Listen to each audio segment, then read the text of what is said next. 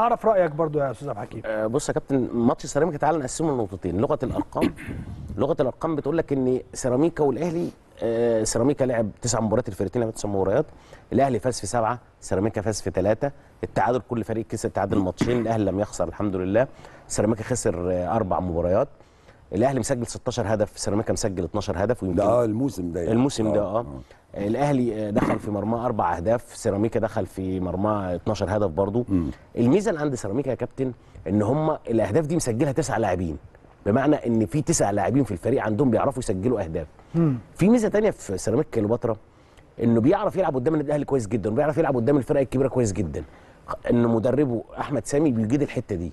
وحافظ فرقة الأهلي كويس جدا لأن واحد من أبناء النادي الأهلي السابقين فبيعرف يلعب كويس جدا قدام النادي الأهلي صعوبة المباراة مش إن كابتن أحمد سامي بيعرف لعيبة النادي الأهلي لا صعوبته كمان في إن النادي الأهلي حتة عامل الثقة بين اللعيبة والجماهير حقيقي. يعني خلينا نتكلم إن في حتة ثقة حصلت نتيجة الماتش اللي عدى الجماهير بتطالب من اللعيبه إنها ترجع زي ما حضرتك قلت للروح بتاعت النادي الأهلي ودي الحتة أنا ما أعتقدش إن الأهلي ينقصه جزء فني هي طبعا. حتة بالظبط كده. روح آه. الفانيلا الحمراء محتاج إن أنت تلعب بيها شوية ممكن يبقى عندك ظروف ممكن يعني مثلا زي كابتن عمرو السولية كنا بنقول ربنا يشفي له بنتك بس في نفس الوقت لاعب الكورة زي ما بيقولوا زي الفنان. مطلوب منك لما تطلع على المسرح خلاص. تنسى كل أوجاعك صح طبعا. وت... وت... وتشتغل للناس اللي قدامك.